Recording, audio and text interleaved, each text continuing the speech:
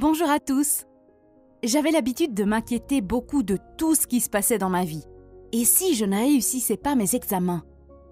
Et si je lançais une nouvelle entreprise mais que j'échouais? Et si je ne parvenais pas à obtenir mon diplôme et que je décevais mes parents? Et si je n'arrivais pas à trouver un emploi après l'université?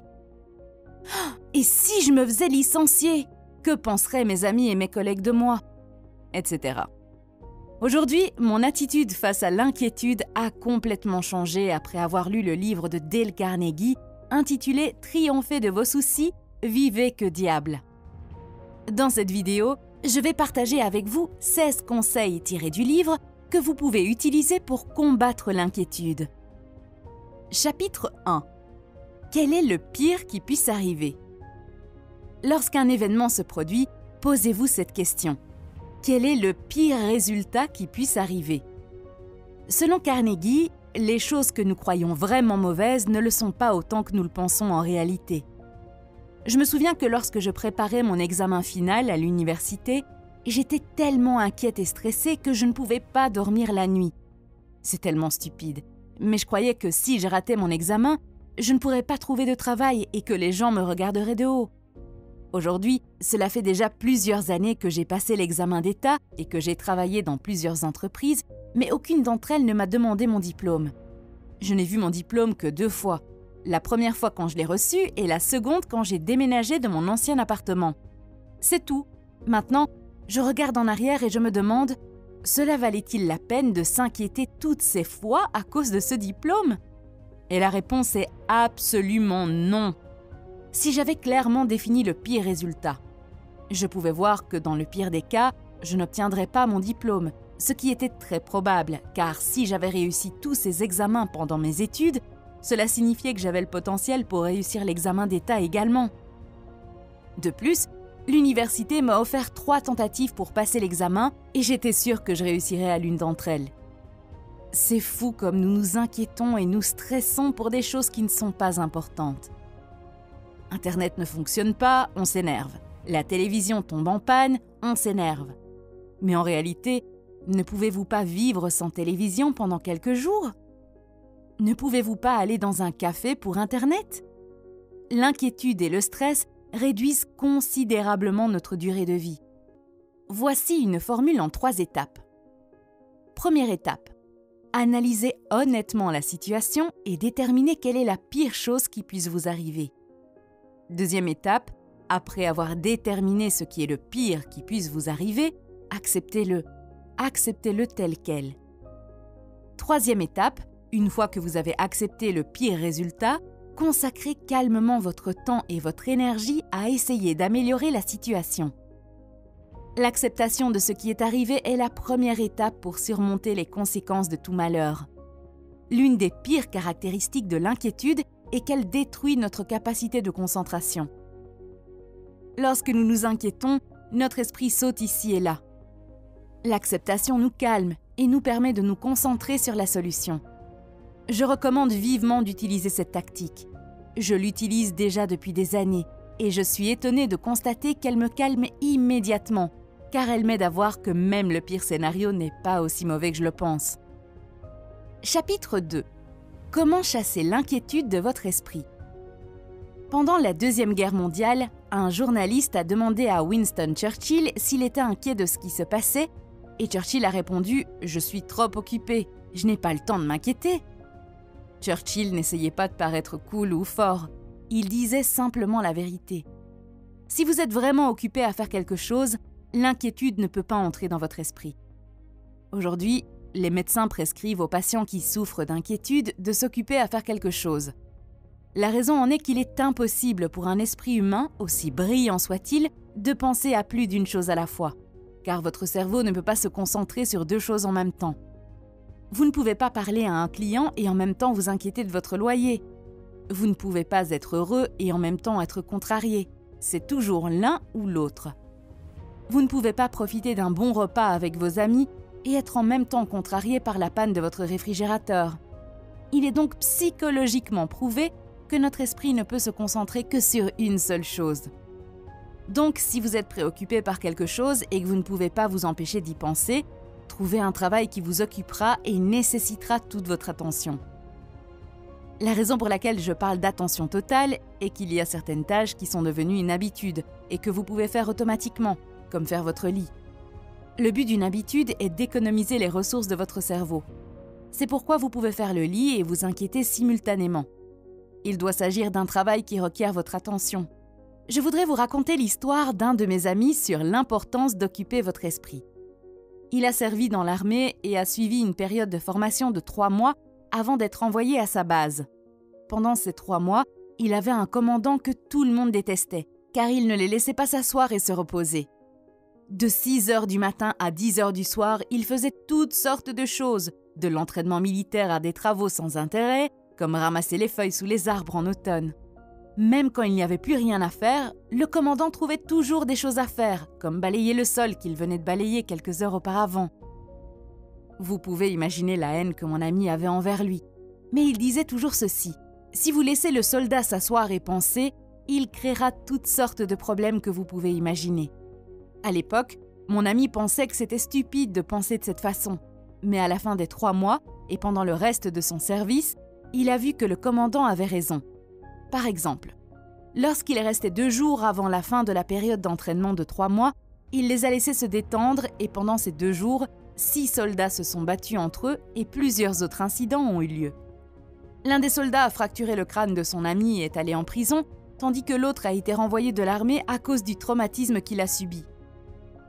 Rien ne s'est passé pendant ces 88 jours, mais tout s'est déroulé pendant ces deux derniers jours.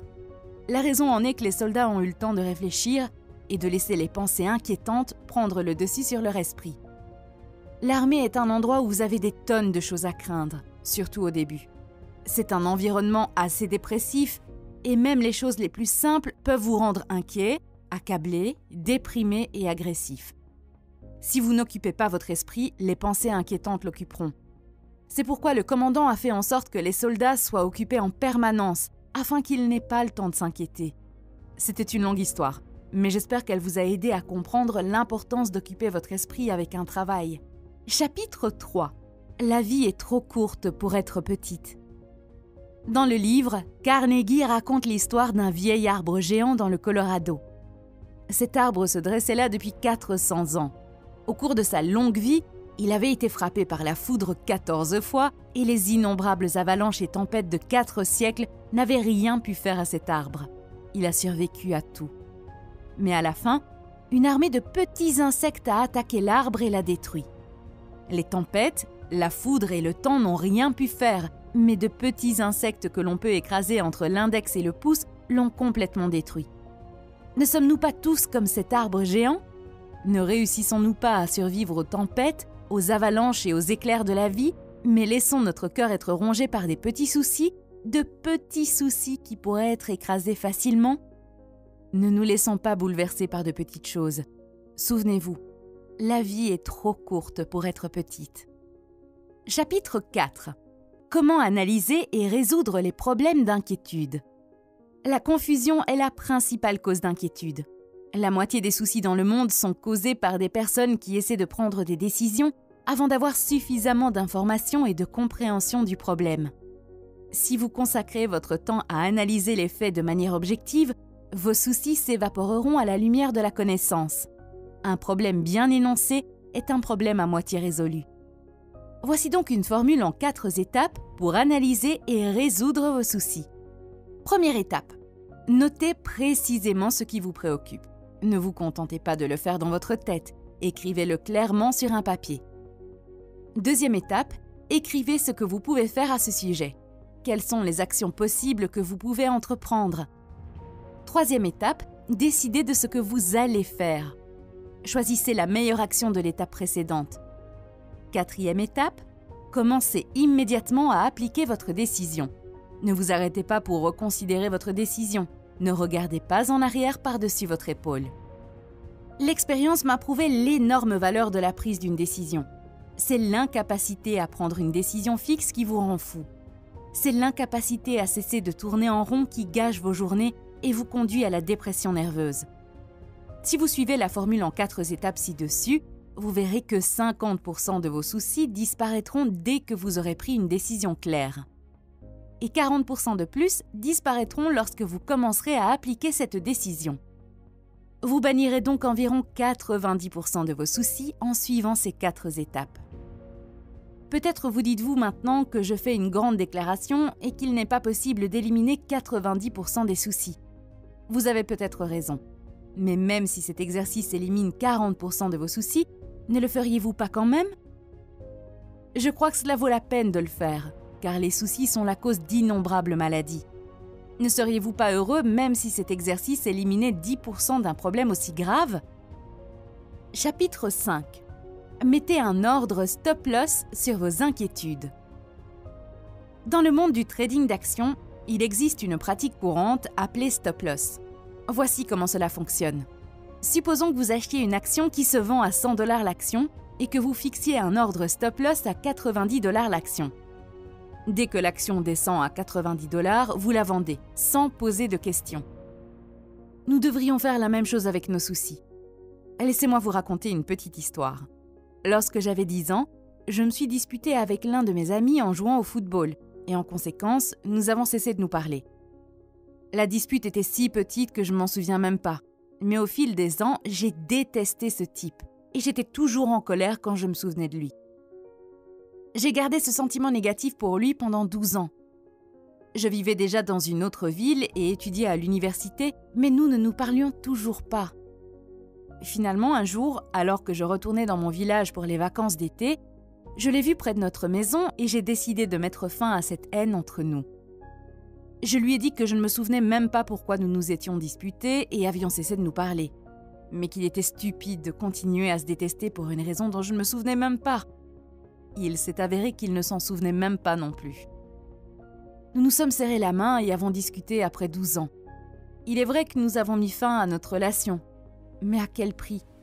Nous avons tous deux entretenu des sentiments négatifs l'un envers l'autre pendant 12 ans. Nous aurions pu avoir de très bons souvenirs d'enfance ensemble, notamment parce que nous étions de proches voisins, mais rien de tout cela n'est arrivé à cause d'une dispute sans importance. Nous avons tous deux payé trop cher. Aujourd'hui, quand je me souviens de cet événement, j'ai l'impression d'avoir payé 50 000 dollars pour une chose qui n'avait qu'une valeur de 5 dollars. Dans la vie, beaucoup de nos soucis ne valent que 5 dollars, mais nous payons 50 000 dollars pour eux. Nous devons mettre un ordre stop-loss sur nos inquiétudes. Nous devons décider combien d'anxiété une chose peut valoir et refuser de lui en donner davantage. Chapitre 6 Ne perdez pas votre temps à penser aux personnes que vous n'aimez pas. Vous n'avez pas à vous forcer à aimer les personnes que vous n'aimez pas, mais pour votre santé et votre bonheur, pardonnez-leur et oubliez-les. Lorsque vous détestez quelqu'un, vous ne lui faites pas de mal. C'est le contraire, vous le récompensez avec vos choses les plus importantes. Par exemple, en étant insomniaque, vous lui donnez votre sommeil. En perdant votre appétit, vous lui donnez votre appétit. En augmentant votre stress, vous lui donnez votre santé. La chose la plus importante que vous puissiez faire est d'enterrer votre haine et de passer à autre chose. Chapitre 7. Prendriez-vous un million de dollars pour ce que vous avez? Si je viens à vous maintenant et que je vous donne 100 millions de dollars pour un de vos yeux, me le vendriez-vous? Que diriez-vous de ceci? Vendriez-vous votre bras pour 100 millions? Vous ne le feriez probablement pas. Ici, vous avez au moins deux choses que vous ne vendriez pas pour 100 millions chacune mais vous vous inquiétez et vous perdez votre santé afin d'avoir plus d'argent ou de position. Ok, vous savez à quoi cela ressemble? C'est comme si vous aviez une Ferrari, une maison de rêve et un avion privé, mais que vous étiez prêt à tout perdre pour pouvoir acheter une Hyundai modèle 2010. Environ 90% des choses dans notre vie sont bonnes et environ 10% sont mauvaises. Si nous voulons être heureux, il nous suffit de nous concentrer sur les 90% qui sont justes et d'ignorer les 10%.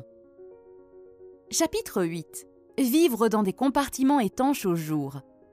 Bon, qu'est-ce que ça veut dire ça?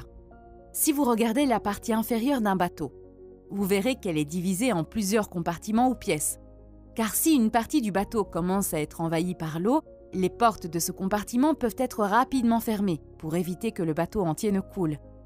De la même manière, si vous voulez éviter d'inonder votre vie de soucis, vous devez fermer les portes d'hier et de demain. Concentrez-vous uniquement sur aujourd'hui.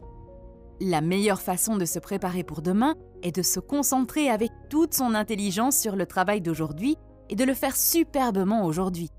Aujourd'hui, vous vous inquiétez de demain. Hier, vous vous inquiétiez d'aujourd'hui. Maintenant, arrêtez-vous un instant et vérifiez si les choses qui vous préoccupaient hier se sont réalisées aujourd'hui. Dans 90% des cas, vous verrez qu'elles ne se sont pas réalisées. Mais vous avez quand même gaspillé votre précieux temps sur cette planète pour des choses qui ne se sont même pas produites. Votre vie est comme un sablier. Je suis sûre que vous en avez déjà vu un. La partie supérieure du sablier représente le futur, la partie inférieure représente le passé et la partie étroite du milieu représente le présent. Beaucoup d'entre nous s'inquiètent tellement de l'avenir ou du passé qu'ils oublient de vivre le moment présent. S'inquiéter de l'avenir, c'est comme essayer de pousser le sable vers le bas pour qu'il passe plus vite par la partie étroite. Mais peu importe ce que vous faites, les grains de sable viendront et passeront un par un quand leur temps viendra. Ne les poussez pas, laissez passer un grain de sable à la fois, vivez un jour à la fois. Une chose que j'aime faire, c'est de m'asseoir chaque dimanche soir et de noter toutes les choses que je devrais faire pour la semaine à venir. Et pendant la semaine, lorsque la journée commençait, je soulignais cinq ou six tâches importantes de la liste que je devais terminer. Lorsque chaque tâche était terminée, je revenais à la liste et la rayais. Mais après un certain temps, j'ai remarqué que j'étais constamment stressée lorsque je regardais cette liste. La raison en est qu'à chaque fois que je la regarde, je vois constamment les choses que je dois encore faire et celles que j'avais prévu de terminer mais que je n'ai pas pu. Regarder cette liste me paralysait et me démotivait, car je pensais constamment aux tâches à venir et je me reprochais de ne pas avoir pu terminer la tâche d'hier. Cela détruisait complètement ma concentration et ma motivation. Après avoir lu ce livre, j'ai cessé de regarder la liste. J'écris toujours la liste le dimanche soir mais maintenant, je ne prends qu'une seule tâche la plus importante de la journée et je l'écris sur un papier différent quand la journée commence. Je me concentre uniquement sur cette tâche jusqu'à ce qu'elle soit parfaitement accomplie. Cela peut sembler simple, mais cela a amélioré ma productivité et m'a permis de me sentir bien. Car même si je termine une seule tâche à la fin de la journée, je me sens toujours bien car j'ai pris plaisir à la faire et j'y ai consacré toute mon attention sans me soucier d'autre chose. La grande leçon de cette partie est donc la suivante. Vivez un jour à la fois et travaillez sur une tâche à la fois. Si vous faites cela, vous serez étonné de voir tout ce que vous pouvez accomplir en une journée et vous vous sentirez beaucoup plus heureux. Chapitre 9 La loi des moyennes. Un de mes amis proches allait prendre l'avion pour la première fois et il avait vraiment vraiment peur. Il avait peur que l'avion explose en vol ou qu'un autre type d'accident se produise et qu'il meure. Pour le calmer, j'ai donc décidé d'utiliser l'approche de la loi des moyennes de Carnegie. La loi des moyennes fait référence à la probabilité qu'un événement spécifique se produise. J'ai fait quelques recherches et j'ai découvert que la compagnie que mon ami empruntait existe depuis plus de 20 ans et qu'au cours de ces 20 ans, elle n'a eu qu'un seul accident, qui s'est produit au sol alors que l'avion décollait. Et même dans cet accident, personne n'a été blessé. Ils ont effectué au moins 30 à 40 vols par jour pendant 20 ans et un seul accident mineur a eu lieu. Selon la loi des moyennes, les chances que mon ami meure sur ce vol étaient presque nulles. Lorsque je lui ai raconté les statistiques, il a commencé à examiner la question de façon logique et s'est senti beaucoup mieux, réalisant qu'il n'avait aucune base solide pour ses inquiétudes. Carnegie affirme que la marine américaine a utilisé la loi des moyennes afin de remonter le moral des marins. Les marins qui étaient affectés à des pétroliers à haut indice d'octane craignaient initialement de mourir si le pétrolier explosait. La marine leur a donc fourni des chiffres exacts. Ils ont déclaré que sur les 100 pétroliers touchés par des torpilles, 60 étaient restés à flot et que seuls 5 avaient coulé en moins de 10 minutes. Lorsque les marins ont pris connaissance de ces chiffres, ils ont réalisé que même dans le pire des scénarios, ils disposaient de 10 minutes, ce qui était bien suffisant pour évacuer. Il y a de fortes chances que ce qui vous inquiète ne se produise pas. Alors posez-vous toujours cette question. Selon la loi des moyennes, quelle est la probabilité que cet événement se produise? Dans certains cas, vous constaterez que cette probabilité est proche de zéro, mais vous vous en inquiétez beaucoup. Chapitre 10 Comment éliminer 50% de vos soucis professionnels Dans ce livre, Carnegie raconte l'histoire d'un manager qui passait la plupart de son temps en réunion à discuter des problèmes de l'entreprise avec son équipe. Le manager raconte qu'il assistait généralement à une réunion et qu'après plusieurs heures de discussion, il quittait la réunion frustré, sans action ou décision concrète. Il a continué à travailler de cette manière pendant plusieurs années, mais a ensuite décidé d'appliquer une nouvelle formule en quatre étapes. Selon cette nouvelle formule, toute personne qui voulait porter un problème à son attention devait d'abord répondre aux quatre questions suivantes. Question 1. Quel est le problème? Question 2. Quelle est la cause du problème? Question 3. Quelles sont toutes les solutions possibles au problème? Question 4. Quelle solution je propose? La raison pour laquelle ces questions sont très efficaces est que la majorité du temps, nous sautons sur le problème pour le résoudre sans comprendre clairement ce que nous résolvons réellement et d'où vient ce problème. Je suis sûre que vous avez déjà participé à une réunion au travail où vous commencez à discuter d'un problème et à un moment donné, vous avez l'impression que tout le monde parle de sujets différents. Après avoir répondu à la première et à la deuxième question, la solution surgit généralement comme un pain qui sort d'un grille-pain. Le directeur dit qu'après avoir mis en œuvre cette approche, sa vie a complètement changé, car la plupart du temps, les gens trouvaient la solution d'eux-mêmes après avoir répondu aux questions, sans avoir à le déranger. Même s'il portait un problème à son attention, quelques minutes de discussion suffisaient pour décider de la solution à mettre en œuvre. Chapitre 11 Ne pas pleurer pour du lait renversé. Dans le livre, il y a une histoire intéressante sur un homme qui s'inquiétait beaucoup. Il raconte un matin, notre classe est entrée dans le laboratoire de sciences et il y avait le professeur, M. Brandwine, avec une bouteille de lait posée sur le bord du bureau. Nous nous sommes tous assis, fixant le lait et nous demandant ce que cela avait à voir avec le cours d'hygiène qu'il enseignait. Puis tout à coup, M. Brenwine s'est levé, a balayé la bouteille de lait avec fracas dans l'évier et a crié Ne pleurez pas pour du lait renversé Il nous a ensuite tous fait venir à l'évier pour regarder l'épave. Regardez bien, nous a-t-il dit, parce que je veux que vous vous souveniez de cette leçon pour le reste de votre vie. Ce lait est parti. Vous pouvez voir qu'il est tombé dans l'évier et tous les problèmes et les tiraillements du monde n'en ramèneront pas une seule goutte. Avec un peu de réflexion et de prévention, ce lait aurait pu être sauvé, mais c'est trop tard maintenant. Tout ce que nous pouvons faire, c'est passer par perte et profit, oublier et passer à autre chose. L'homme dit Cette petite démonstration m'a marqué longtemps après. En fait, elle m'a appris plus de choses sur la vie pratique que toute autre chose pendant mes quatre années de lycée. Elle m'a appris à ne pas renverser le lait si je le pouvais, mais à l'oublier complètement une fois qu'il avait été renversé ou qu'il était tombé dans l'égout. S'inquiéter d'hier est aussi productif que de pleurer pour du lait renversé. Vous ne pouvez pas revenir en arrière et changer ce que vous avez fait. D'ailleurs, vous ne pouvez même pas changer ce que vous avez fait il y a deux minutes. Une fois que c'est fait, c'est fait. Et s'inquiéter de quelque chose qui est passé est un gaspillage d'énergie. Chapitre 12 Avez-vous du citron? Faites une limonade. Il y a quelques années, mon ami Thomas a trouvé un emploi dans une nouvelle entreprise dans une autre ville et a décidé de s'y installer avec sa femme. Ils étaient tous les deux enthousiastes car cet emploi était mieux payé et ils en avaient désespérément besoin car ils attendaient un bébé dans trois mois.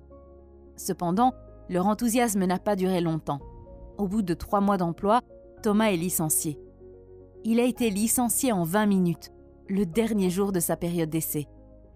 Vous savez probablement que la plupart des entreprises ont une politique de période d'essai de 90 jours et que durant cette période, elles peuvent vous licencier ou vous faire démissionner si vous n'aimez pas l'entreprise. Thomas a été licencié le 90e jour, ce qui a rendu la situation encore plus dramatique. Devinez quoi Le jour où il a été licencié, Thomas est rentré à la maison et le bébé a commencé à venir. Alors ils sont allés à l'hôpital. Le voilà donc à l'hôpital sur le point de devenir père, mais sans emploi, sans assurance, dans un pays totalement étranger, sans parents ni amis, et avec peu d'argent sur son compte bancaire. De plus, il avait de nombreux problèmes juridiques puisqu'il vivait dans un pays étranger avec un visa de travail et perdre son emploi revenait à faire tomber la pierre la plus importante qui tenait la structure ensemble. Thomas était totalement dévasté. Il ne savait pas comment se sentir. Pendant plusieurs jours, il n'a cessé de penser à ce qui venait de se passer. Il ne pouvait s'empêcher de blâmer sa patronne parce qu'elle savait qu'ils attendaient un bébé. Il reproche à sa patronne de ne pas l'avoir averti pour qu'il ait la possibilité d'améliorer sa performance il pensait constamment à la façon dont il ferait les choses différemment, ou à la façon dont il répondrait à sa patronne s'il en avait à nouveau l'occasion. Après plusieurs jours, Thomas s'est dit Écoute, toutes ces réflexions et ces plaintes ne vont rien ramener ou changer. C'est comme ça, et il ne peut en être autrement. Concentre-toi sur ce que tu peux faire maintenant. Thomas a consacré tout son temps libre à développer sa propre petite entreprise. Pour faire court, Thomas dit qu'il peut maintenant regarder en arrière et dire que son licenciement est la meilleure chose qui lui soit arrivée. Et il le pense vraiment. Il est heureux d'avoir été licencié car, s'il ne l'avait pas été, il serait coincé dans un emploi et n'investirait pas de temps dans ses propres projets. La morale de l'histoire, c'est que j'ai vraiment l'impression que Thomas a transformé du citron en limonade. Je suis sûre qu'il y a des gens qui regardent cette vidéo et qui ont surmonté des problèmes 100 fois plus difficiles que les siens. Mon seul espoir, c'est de fournir une histoire dans laquelle vous pouvez vous identifier pour une meilleure compréhension des concepts. Au fait, Thomas dit que pendant ces moments difficiles, le livre de Ryan Holiday, intitulé L'obstacle et le chemin, l'a aussi beaucoup aidé. Je voudrais conclure ce chapitre avec la citation suivante. Deux hommes ont regardé à travers les barreaux de la prison. L'un a vu la boue et l'autre a vu les étoiles. Chapitre 13. Coopérer avec l'inévitable. Il y a beaucoup de circonstances dans notre vie qui échappent à notre contrôle. La perte d'un être cher, la perte d'une relation intime comme le mariage. Dans ces moments difficiles, la seule chose que nous pouvons faire est simplement d'absorber ce qui s'est passé et de passer à autre chose. Saviez-vous que lorsque les voitures ont été inventées, les roues étaient faites de matériaux durs comme le métal, mais qu'elles se cassaient très souvent parce qu'elles ne pouvaient pas absorber les chocs sur les routes accidentées. S'il y a un rocher ou un autre objet sur la route, les pneus en caoutchouc se plient à l'intérieur et reprennent ensuite leur forme initiale. Mais le métal ne pouvait pas le faire et se cassait. Il en va de même dans la vie. Plus vous essayez de changer ou de résister à l'inévitable, plus vous vous abîmez et vous brisez. Vous durerez plus longtemps et profiterez d'une conduite plus souple si vous apprenez à absorber les chocs et les secousses sur la route accidentée de la vie. Chapitre 14 9 mots qui peuvent transformer votre vie. Le plus gros problème auquel vous et moi devons faire face, en fait, presque le seul problème auquel nous devons faire face, est de choisir les bonnes pensées. Si nous y parvenons, nous serons sur la voie de la résolution de tous nos problèmes. Le grand philosophe qui a régné sur l'Empire romain, Marcus Aurelius, l'a résumé en neuf mots. Neuf mots qui peuvent déterminer votre destin. Notre vie est ce que nos pensées en font. Le célèbre psychiatre britannique Hatfield a demandé à trois hommes de se soumettre pour tester l'effet de la suggestion mentale sur leur force, qui a été mesurée en saisissant un dynamomètre. Dans des conditions normales d'éveil, leur prise moyenne était de plus ou moins 100 livres. Lorsqu'il les a testés après les avoir hypnotisés et leur avoir dit qu'ils étaient très faibles, ils n'ont pu saisir que 29 livres, soit moins d'un tiers de leur force normale. Puis, Hatfield les a testés une troisième fois en leur disant que sous hypnose ils étaient très forts et ils ont pu saisir une moyenne de 142 livres. Lorsque leur esprit était rempli de pensées positives de force, ils augmentaient leur pouvoir physique réel de près de 50%.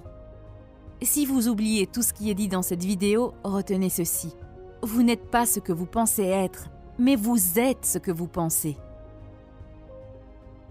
Chapitre 15 Soyez vous-même. Carnegie dit que beaucoup de gens s'inquiètent parce qu'ils ne sont pas eux-mêmes. Plus vous essayez de ressembler à quelqu'un d'autre, plus vous aurez de la peine et des soucis. Vous et moi avons de grandes capacités, alors ne perdons pas une seconde à nous inquiéter parce que nous ne sommes pas comme les autres. Vous êtes quelque chose de nouveau dans ce monde. Jamais auparavant, depuis le début des temps, il n'y a eu quelqu'un d'exactement comme vous. Et jamais plus, à travers tous les âges à venir, il n'y aura quelqu'un d'exactement comme vous. Dans le livre, il y a un bel exemple d'une femme qui essayait d'être chanteuse mais qui avait honte de ses dents et qui pour cette raison n'ouvrait pas complètement la bouche lorsqu'elle chantait. Un jour, un homme du public l'a abordée et lui a dit qu'il savait ce qu'elle essayait de cacher. Il lui a dit de ne pas avoir honte, d'ouvrir la bouche et de chanter du fond de son cœur. Elle a eu tellement de succès que peu après, d'autres chanteurs ont commencé à imiter sa façon de chanter. Chapitre 16. Si vous faites ceci, vous ne vous soucierez jamais de l'ingratitude. Vous savez que nous, les humains, voulons de la gratitude pour chaque petit service que nous rendons aux autres. Si nous tenons une porte ouverte pour que quelqu'un entre derrière nous, nous attendons un merci, sinon nous nous fâchons laissez-moi vous demander ceci. Si vous sauviez la vie d'un homme, vous attendriez-vous à ce qu'il vous en soit reconnaissant? Vous pourriez, mais un célèbre avocat criminel nommé Samuel a sauvé 78 hommes de la chaise électrique. Combien de ces hommes, pensez-vous, se sont arrêtés pour remercier Samuel ou ont pris le temps de lui envoyer une carte de Noël? Devinez. C'est exact. Aucun. Voici le point que j'essaie d'aborder dans ce chapitre. Il est naturel pour les gens d'oublier d'être reconnaissants. Donc, si nous attendons de la gratitude, nous nous dirigeons tout droit vers de nombreux chagrins. Si vous faites quelque chose, faites-le pour le plaisir de le faire et n'attendez rien en retour. Merci d'avoir regardé cette vidéo. Prenez soin de vous et à très bientôt.